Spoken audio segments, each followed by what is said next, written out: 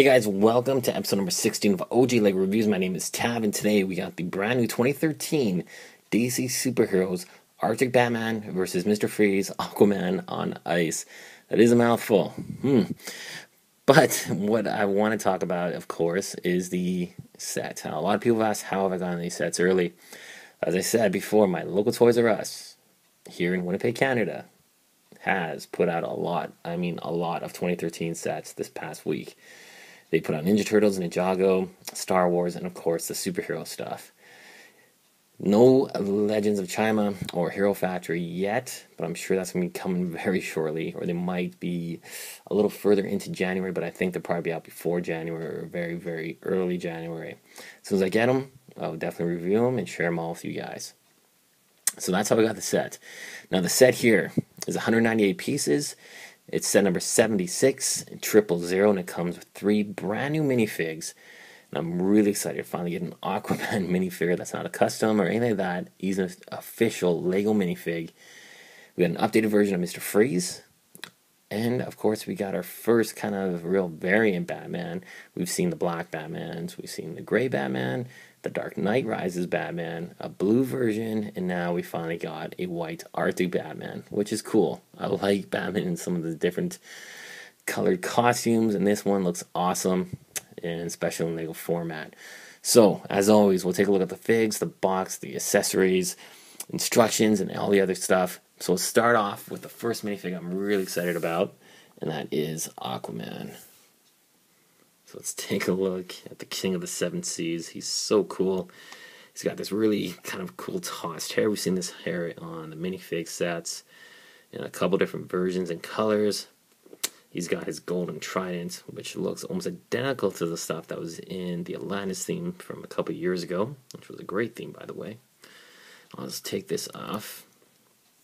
Get a closer look at the details on the fake. He has little scales throughout the, the uh, shirt He's got his golden belt, green gloves, and of course it's continued on the back with some more definition of his muscles.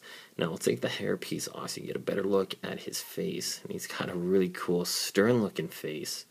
And he even has double-sided printing as well. He's got the angry face and the stern King of the Seven Seas look. Now, the hairpiece, I don't know if it really suits him as well as I thought it would. Like, it's still pretty cool. I mean, I don't push it all the way in. If you push it all the way down, it does cover his eyes a bit. So if you just put it on a bit lightly, still looks pretty cool. Like, you know, he's definitely the king of the seven seas. He's got this cool hair, his trident, and it's Aquaman. And uh, Aquaman's one of my favorite DC characters. Doing huge stuff in the DC Universe comic books, of course. Finally got him in Lego minifigure format, and it's awesome.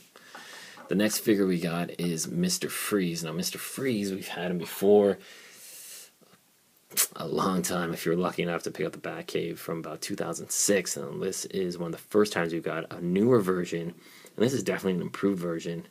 Very interesting looking use of recycled Lego parts. Let's take a look here. This helmet, of course, is from Atlantis as well, but this time we got a blue tinge for a visor, blue colored visor. It looks very well suited for this Mr. Freeze figure. And we'll take a look at Mr. Freeze himself. He's got like some chest armor, circuitry, a really cool looking white face with blue eyes. His weapon, definite improvement. He's got one of these cool blasters, which you've seen in the Alien Conquest line in the minifigure lineup. A couple extra attachments to it. And what I really like is this little blue transparent piece with this silver peg stud and it just gives it a really cool look. Like it's like uh, a, a Mr. Freeze ammunition chamber or something like that. It looks really cool. Did a great job on it. And then there's some extra printing on the back of the figure as well. Just a really cool updated version of Mr. Freeze. Like it a lot. So put that back on. And there you go. Now, of course, we got the Arctic Batman. We'll take a look at this character does come with the two batarangs. I'll just take those out of his hands for now so we can get a better look at the fig. Now what I like, they didn't make it pure, just plain white. He does have some gray definition in his bodysuit. He's got his utility belt in white, the white cape, white gloves, and then we can flip him over to the back. He does have some printing on the back going on as well. Now, of course, this is a traditional Batman head. And let's pop this off. And we got the Bruce Wayne with an angry face. And of course, this white bandana here is what the eyes are when you put the helmet on. And on this side, he's got the stern look. The white helmet. This is the more slender design helmet, of course, that we saw in the jet ski polybag from last year. And it's in the new Bat versus Bane Tumbler Chase set that I reviewed a little while ago as well. So I'm glad they didn't use that big bulky helmet they've been using for years and a bit more of a streamlined look. It looks really cool. Now the vehicle that you get, Batman's little Arctic jet ski thing, is actually pretty neat. We'll move this out of the way and a couple of these figs to get a better look at this set. One thing that's going to happen, and this has happened to mine already a couple times, is this piece just loves to fall out. There we go. Just clips back in. But it does have some neat little accessories. First thing you notice is the cockpit here. Flip that around you can take a look. It's got some little dials. Those are stickers all inside. Stickers on the side here, on the projectiles, and even on the windshield. We'll flip that around. You can take a look. It's like an aiming reticle right there. And of course, another sticker for the Bat logo. So now this set does have the same blades that are used on the Temple of Lights golden mech, except they're in gold. They're smaller blades that go onto there. And as you can see, this part here, which I really don't know why they did this, but this thing comes off so easily. This just attach this red pig in there. That's it. Guess to give it a bit more of a dynamic look, but man, it's more of a hindrance than anything. And it keeps popping out when you just put any pressure on it. And so easy it pops right off. So that's the one thing that's kind of fault in the set. It does have some more stickers right over here. It does have a different type of flick fire missile, which I thought was pretty neat. You do just push on this, and as you can see, you got these little discs that pop out. And these discs have a transparent base. Sticker there, it's supposed to be like a, maybe a batarang of some kind but it still looks pretty cool and it fires pretty nicely too. I didn't put a lot of pressure on them because I just didn't want to fling them out and probably never see them again. But let's put those back.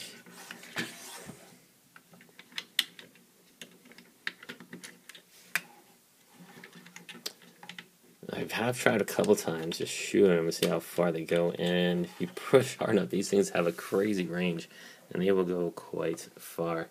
So let's put Batman in here too. Let's see what he looks like in the cockpit.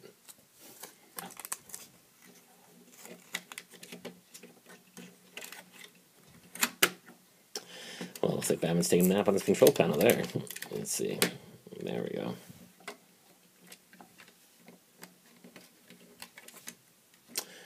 Wow. Let's see if we can get, there we go. Let's had to push him in a little bit, bit deeper. There you go. Batman's little vehicle. Now you also get this block of ice here. Now what the big thing is, is this level. Right here, this lever that you push on, and it pops open like that. So what we do, put Aquaman in here. Let's put this back on. Now you gotta be careful when you close it. You gotta make sure this is pegged in all the way. There you go. Aquaman's on the ice. He's been blasted by Mr. Freeze, as you can see. So Aquaman's on ice. So, but Aquaman's gonna break out. All you gotta do, that, and there you go. There's Aquaman. Pretty cool.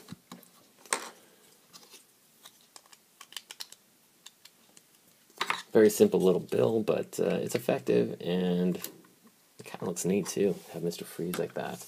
So, let's take a look at the box. Box here. It's got a pretty cool action sequence going on. You got a boat crashed in the back here. You got Batman coming to rescue Aquaman breaking through his little ice prison. You got some minifigs there. A comic book is included. We'll take a look at that in a sec. On the top, we got a pic of the Arctic Batman, and unfortunately on the back, just real boring just has this orange color in the back, no city skyline, nothing like the front, and it shows off the flick fire missiles, and of course these little heated engines that you can blop off as well. Doesn't have any kind of mechanism, you just basically push it off. That's it. Instruction booklet. It was a thick one. This is the instructions, one instruction booklet. Now, what's neat, or not neat, what was interesting that there's none of the bags that have numbers on them. No numbered bags whatsoever. Just three bags, and you just gotta pretty much open them all up and start building. 63 pages. As you can see, unfortunately, no advertising for any of the other sets. Nothing. I got an advertising for the Lego Batman Number two, DC Superheroes video game for all your leading systems. And right here, you got a cool little pic. Checking out Lego.com. And the Lego Club magazine is defending and blocking Mr. Freeze's Ice Blast. It's pretty cool. But it's a pretty fun build. I mean, not too difficult again, but instruction manual is quite large. And of course, at the front, you got the Lego Builder and getting some pieces put together to build your fig. So really the only thing that it wasn't too crazy about is those skis at the top here that keep popping off. But what I really like, of course, is this really cool DC superheroes little comic book. It's the exact same one that was in the Bat versus Bane Tumbler chase. So that was a little disappointing, but I got two of them, so that's kind of cool at least. Nothing different. It is identical to the other comic.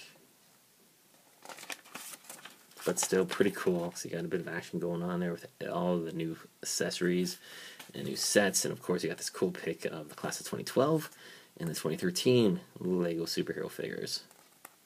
Really cool. Can't wait to see the Robin figure from the Arkham Asylum set. And the Joker and the inmates outfits, and of course Scarecrow, another Penguin, Harley Quinn. That's cool. We got both versions of her. Really nice. This was the sticker sheets. You got a couple stickers, not much. And is some of the extra pieces that were included with the set. And that's it. Alright guys, I hope you liked the review. The set itself, you know, it's pretty cool. It's twenty four ninety nine Canadian. I definitely like the minifigures. That was the biggest highlight of this set for me, and I'm sure it's going to be for a lot of other people. The Aquaman minifigure is very cool. The Arctic Batman, and of course, Mr. Freeze, an amazing updated version of the figure that we've seen a couple years ago as well. So great job on the set.